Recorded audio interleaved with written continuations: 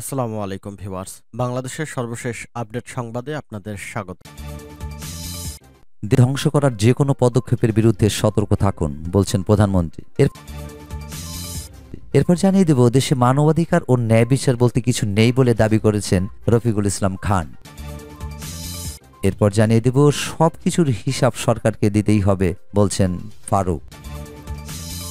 এবার জানিয়ে দেব, সুপ্রিম কোর্ট বারের ভোট গণনা কেন্দ্র করে আওয়ামী লীগের দুই পক্ষের মারামারি এবং এবং সর্বশেষ জানিয়ে দিব, নওয়াজ শরীফের দুই ছেলেকে আদালতে আত্মসমর্পণের নির্দেশ। শুনছিলেন সংবাদ শিরোনাম, এখন বিস্তারিত। ধ্বংস করার যে কোনো পদক্ষেপের বিরুদ্ধে সতর্ক থাকুন, প্রধানমন্ত্রী। প্রধানমন্ত্রী ও আওয়ামী লীগ সভাপতি শেখ হাসিনা বলেছেন, বিএনপি জামাত চক্র, অগ্নিসংযোগ ও জঙ্গিবাদের মাধ্যমে নৈরাজ্যকর পরিস্থিতি সৃষ্টি করে দেশকে ধ্বংস করতে নেমেছে। এজন্য তিনি দেশবাসীর প্রতি সতর্ক থাকার আহ্বান জানিয়েছেন। তিনি বলেন, তারা নির্বাচন বর্জনের পর সন্ত্রাস ও জঙ্গিবাদের মাধ্যমে দেশকে ধ্বংস করতে এবং জনদুর্ভোগ বাড়াতে চায়। দেশকে ধ্বংস করার যে কোনো পদক্ষেপের বিরুদ্ধে দেশবাসীকে সতর্ক থাকতে হবে বলেও তিনি উল্লেখ করেন। প্রধানমন্ত্রী ও আওয়ামী লীগ সভাপতি শেখ হাসিনা বৃহস্পতিবার সাতই মার্চ বিকেলে রাজধানীর তেজগাঁওস্থ আওয়ামী লীগ কার্যালয়ে ঐতিহাসিক সাতই মার্চ উপলক্ষে বাংলাদেশ আওয়ামী লীগ আয়োজিত আলোচনার সভায় সভাপতিত্বের ভাষণে এসব কথা বলেন। শেখ হাসিনা বলেন, দুই হাজার আট সালে নির্বাচনে তিনশো আসনের মধ্যে তারা তিরিশটি আসন পেয়েছিল, আর তারপরেই তো তাদের আরও খারাপ অবস্থা। এখন নির্বাচন না করে নির্বাচন বানচাল করতে এবং দেশকে ধ্বংস করতে নেমেছে, এ বিষয়ে মানুষকে সজাগ থাকতে হবে। প্রধানমন্ত্রী বলেন যারা জয় বাংলা স্লোগানে বিশ্বাস করে না, সাত মার্চের ভাষণকে প্রেরণকে প্রেরণা বলে মনে করে না। তার অর্থ, তারা স্বাধীন বাংলাদেশ চায় না। বাংলাদেশের মানুষের উন্নয়ন তথা তাদের আর্থসামাজিক উন্নয়ন তারা চায় না। কাজেই তাদেরকে মানুষ কেন ভোট দেবে? তিনি বলেন আজকে আমরা সরকারে আছি, জনগণ বারবার আমাদের ভোট দিয়েছে, দেশে গণতান্ত্রিক ধারা অব্যাহত আছে, আর দেশে গণতান্ত্রিক ধারা অব্যাহত আছে বলেই দেশের আর্থসামাজিক উন্নতি হচ্ছে। আর যে দলটি জাতির পিতা বঙ্গবন্ধু শেখ মুজিব নিজের হাতে গড়ে তুলেছেন, যে দলে দেশের স্বাধীনতা সংগ্রাম করেছে, মুক্তিযুদ্ধ পরিচালনা করে যুদ্ধের মধ্য দিয়ে বিজয় এনে দিয়েছে, সেই দলই বাংলাদেশ আওয়ামী লীগ। যে দল ক্ষমতায় আসলে জনগণের ভাগ্যের পরিবর্তন হয়, দেশের উন্নতি হয়, যে যত কথাই বলুক এই বাস্তবতা সবাইকে স্বীকার করতেই হবে। তিনি বলেন, আসলে যার দাঁত তার ব্যথা। যে কষ্ট করে সে বোঝে মানুষের জন্য তার কি করতে হবে। আজকে আওয়ামী লীগ ক্ষমতায় আছে বলেই দেশ উন্নয়নশীল দেশের মর্যাদা পেয়েছে। জাতির পিতা যুদ্ধ বিধ্বস্ত দেশ গড়ে তুলে দেশকে স্বল্পোন্নত দেশের পর্যায়ে রেখে যান। কিন্তু এর পরের উনত্রিশ বছরে দেশ কিন্তু এক কদমও আগে বাড়েনি। আওয়ামী লীগ ক্ষমতা আসার পরই দেশ সামনের দিকে এগিয়ে গেছে এবং ইনশাল্লাহ একদিন জাতির পিতা স্বপ্নের উন্নত সমৃদ্ধ সোনার বাংলাদেশ তথা স্মার্ট বাংলাদেশ আমরা গড়ে তুলব। আলোচনা সভায় আওয়ামী লীগের সভাপতি মণ্ডলীর সদস্য ডক্টর আব্দুল আব্দুর রাজ্জাক মোফাজ্জল হোসেন চৌধুরী, মায়াবীর বিক্রম এবং বস্ত্র ও পাটমন্ত্রী জাহাঙ্গীর কবির নানক, যুগ্ম সাধারণ সম্পাদক মাহবুল আলম হানিফ, দলের মুক্তিযুদ্ধ বিষয়ক সম্পাদক অ্যাডভোকেট মৃণাল কান্তি দাস, কেন্দ্রীয় কার্যকরী কমিটির সদস্য অ্যাডভোকেট গ্লোরিয়া সরকার ঝর্ণা, ঢাকা জেলা আওয়ামী লীগ সভাপতি বেনজির আহমেদ এবং সাধারণ সম্পাদক পনিরুজ্জামান তরুণ, মহানগর আওয়ামী লীগ উত্তর ও দক্ষিণ সাধারণ সম্পাদক এস এ মান্নান কোচি ও মোহাম্মদ হুমায়ুন কবির প্রমুখ বক্তৃতা করেন।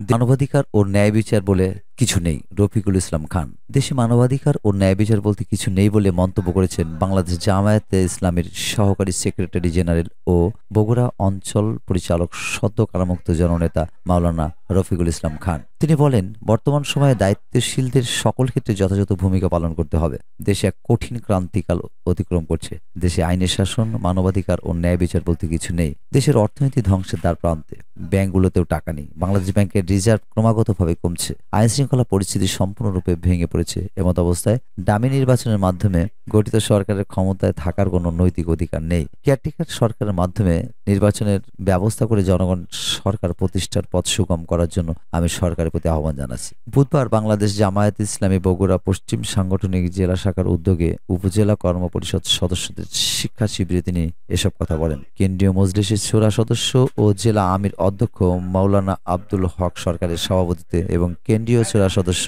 জেলা সেক্রেটারি মোহাম্মদ মঞ্জুরুল ইসলাম রাজু সঞ্চালনায় প্রধান অতিথির বক্তব্যে মাওলানা রফিকুল ইসলাম খান এসব কথা বলেন। প্রধান অতিথি মাওলানা রফিকুল ইসলাম খান আরও বলেন, পবিত্র রমজান মাস অতি নিকটে, অথচ নিত্য প্রয়োজনীয় জিনিসপত্রের দাম লাগামহীনভাবে বাড়ছে। নিম্নবিত্ত ও মধ্যবিত্তরা সংসার চালাতে হিমশিম খাচ্ছে। পণ্যের মান নিয়ন্ত্রণ এবং নিত্য প্রয়োজনীয় জিনিসপত্রের দাম সহনীয় পর্যায়ে রাখার জন্য তিনি সরকারের প্রতি আহ্বান জানান। তিনি কর্মপরিষদ সদস্যদের উদ্দেশ্যে বলেন, উপজেলা দায়িত্বশীল হিসাবে আমাদের সংগঠনকে মজবুতকরণ ও সম্প্রসারণের জন্য গঠনমূলক ভূমিকা রাখতে হবে। আগামী দিনের সকল লড়াই সংগ্রামের মধ্যে মানুষ মানসিকভাবে প্রস্তুত থাকতে হবে। দেশ ও জাতিকে রক্ষার জন্য বাংলাদেশ, জামায়াত ইসলামের সকল জনশক্তিকে অগ্রণী ভূমিকা পালন করতে হবে। বিশেষ অতিথি হিসেবে বক্তব্য রাখেন বগুড়া অঞ্চল টিম সদস্য অধ্যাপক নজরুল ইসলাম, সিরাজগঞ্জ জেলা আমির মাওলানা শাহিনুর আলম, জেলা নায়েবে আমির মাওলানা মমতাজুদ্দিন মাওলানা আব্দুল হাকিম, মাওলানা আব্দুল মমিন, অধ্যক্ষ মাওলানা তায়েব আলী প্রমুখ প্রমুখ। সবকিছুর হিসাব সরকারকে দিতে হবে। ফারুক, সবকিছুর হিসাব সরকারকেই দিতেই হবে, মন্তব্য করে বিএনপির চেয়ারপারসনের উপদেষ্টা ও সাবেক বিরোধী দলীয় চিফ হুইপ জয়নুল আবেদিন ফারুক বলেছেন, পনেরো বছর অত্যাচার করেছেন, জেলখানায় পনেরো জনকে মেরে ফেলেছেন, অসংখ্য নেতাকর্মীকে গুম করেছেন, উনত্রিশ হাজার নেতাকর্মীকে জেলে পড়েছেন, সবকিছু আমাদের মনে আছে। তিনি বলেন, সাত জানুয়ারি নির্বাচনে প্রহসন দেশের সংখ্যাগরিষ্ঠ মানুষ প্রত্যাখ্যান করেছে, এতে হতাশ হওয়ার কিছু নেই। দ্বাদশ সংসদ বাতিল ও এক দফা দাবিতে আমাদের আন্দোলন চলছে, সুতরাং এ নির্বাচন ও নতুন সরকার দেশে বিদেশে কোনো গ্রহণযোগ্যতা পায়নি। এ সরকারকে বিদায় নিতে হবে। বৃহস্পতিবার সাতই মার্চ দুপুরে জাতীয় প্রেস ক্লাবের সামনে মানববন্ধনে প্রধান অতিথির বক্তব্যে তিনি এসব কথা বলেন। নিত্য প্রয়োজনীয় দ্রব্যের লাগামহীন ঊর্ধ্বগতি ও বিদ্যুৎ জ্বালানির মূল্য বৃদ্ধির প্রতিবাদে এবং জননেত্রী বেগম খালেদা জিয়া সহ সকল রাজবন্দির মুক্তির দাবিতে জাতীয় গণতান্ত্রিক পার্টি জাকপার উদ্যোগে মানববন্ধন হয়। জয়নুল আবেদিন ফারুক বলেন, গত বছর তিনবার বিদ্যুতের দাম বৃদ্ধির পর এই ফ্যাসিবাদী সরকার কোন যুক্তিতে আবার বিদ্যুতের দাম বৃদ্ধি করছে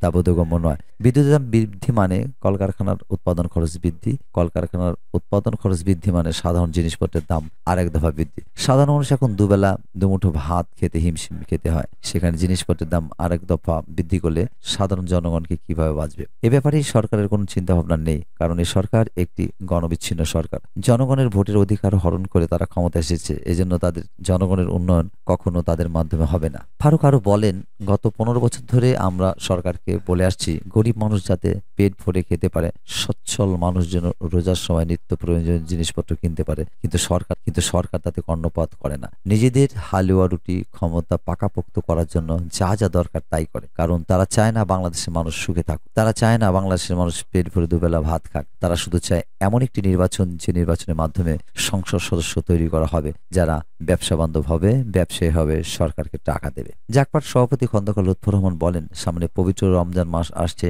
রমজানকে কেন্দ্র করে সরকার দলীয় সিন্ডিকেট জিনিসপত্রের দাম আরেক দফা বাড়িয়ে প্রমাণ করছে যে এই সরকার জনগণ নয়। প্রতিনিয়ত মিথ্যা মামলা দিয়ে সরকার, বিএনপি সহ এর অঙ্গ সংগঠক নেতাকর্মীদের প্রতিনিয়ত হয়রানি করছে। আমরা অবিলম্বে সকল রাজবন্দীদের মুক্তি চাই। জাকপার সভাপতি বীর মুক্তিযোদ্ধা খন্দকার লুৎফর রহমানের সভাপতিত্বে ও জাকপার সাধারণ সম্পাদক এস এম শাহাদাত এর পরিচালনায় এতে আরও বক্তব্য রাখেন ন্যাশনাল পিপলস পার্টি, এনপিপির চেয়ারম্যান ডক্টর ফরিদুজ্জামান ফরহাদ, মহাসচিব মোস্তাফিজুর রহমান মোস্তফা গণদলের চেয়ারম্যান এটিএম গোলাম মাওলানা জাকপার যুগ্ম সাধারণ সম্পাদক ডক্টর আলাদ হোসেন, কৃষক সহ সাধারণ সম্পাদক এস এম জাহাঙ্গীর আলম, যুব জাকবার সভাপতি মীর আমির হোসেন আমু প্রমুখ।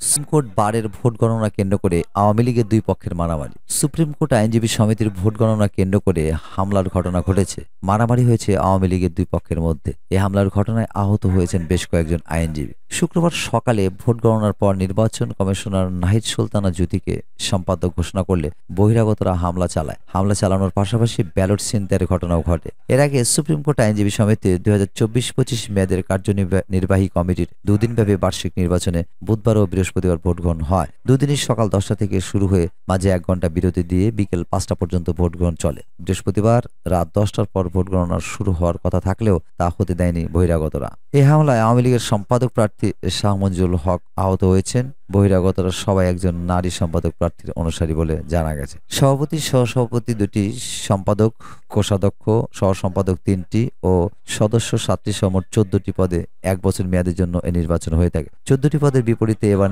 নির্বাচনে তেত্রিশ প্রার্থী হয়েছেন। এবার নির্বাচনে বিএনপি সমর্থিত নীল প্যানেল থেকে ব্যারিস্টার মাহবুব উদ্দিন খোকন সভাপতি পদে ব্যারিস্টার রুহুল কুদ্দুস কাদরু সম্পাদক পদে লড়ছেন। আওয়ামী লীগ সমর্থিত বঙ্গবন্ধু আওয়ামী আইনজীবী পরিষদ থেকে সভাপতি পদে লড়ছেন আবু সাইদ সাগর, সম্পাদক পদে লড়ছেন ব্যারিস্টার শাহ মঞ্জুল হক। এছাড়া যুবলীগ সভাপতির স্ত্রী নাহিদ সুলতানা জ্যোতি সম্পাদক পদে লড়ছেন। প্রবীণ আইনজীবী, সাবেক অতিরিক্ত অ্যাটর্নি জেনারেল এম কে রহমানও লড়ছেন সভাপতি পদে। দুদিনব্যাপী নির্বাচনে এবারের ভোটার সাত হাজার আটশো তিরাশি জন। প্রথম দিনে ভোট পড়েছিল তিন হাজার দুইশো একষট্টি জন জন।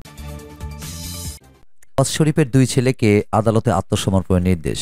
পাকিস্তানের সাবেক প্রধানমন্ত্রী নওয়াজ শরীফের দুই ছেলে, হোসেন নওয়াজ ও হাসান নওয়াজকে তিনটি দুর্নীতি মামলায় জবাবদিহিতায় আদালতে বারো মার্চের মধ্যে আত্মসমর্পণের নির্দেশ দেওয়া হয়েছে। পানামা পেপার্স সম্পর্কিত এসব দুর্নীতি মামলায় তাদের বিরুদ্ধে গ্রেফতারি পরোয়ানা জারি রয়েছে। খবর জিও নিউজের। বৃহস্পতিবার তারা গ্রেফতারি পরোয়ানা বাতিল চেয়ে সংশ্লিষ্ট আদালতে আবেদন করেছেন। ইসলামাবাদ জবাবদিহি আদালতে এই আবেদন জানান তাদের আইনজীবী কাজী মিসবাউল হাসান। অ্যাভেনফিল্ড অ্যাপার্টমেন্টস, আল আজিজিয়া ও ফ্ল্যাগশিপ বিনিয়োগ সংক্রান্ত মামলায় তাদের গ্রেপ্তারি পরোয়ানা বাতিল চাওয়া হয় আবেদনে। জবাবদিহি আদালতের বিচারপতি নাসির জাভেদ রানা নওয়াজ পুত্রদের আবেদন গ্রহণ করেন। আইনজীবী আদালতকে বলেন, তারা দুজনেই সৌদি আরব ও যুক্তরাজ্যের বাসিন্দা। দুর্নীতি মামলায় নওয়াজ শরীফ, মরিয়ম নওয়াজ ও ক্যাপ্টেন অবসরপ্রাপ্ত সাবদারের সঙ্গে তাদের দুজনেরই অভিযুক্ত করা হয়। আইনজীবী আদালতকে জানান, এখন তারা আদালতে আত্মসমর্পণের সিদ্ধান্ত নিয়েছেন এবং মামলা মোকাবেলা করতে চান। এজন্য তারা বারোই মার্চ ইসলামাবাদে পৌঁছাবেন। তারা যাতে নির্বিঘ্নে আদালতে পৌঁছাতে পারেন, সেজন্য গ্রেপ্তারি পরোয়ানা বাতিল চাওয়া হয়েছে।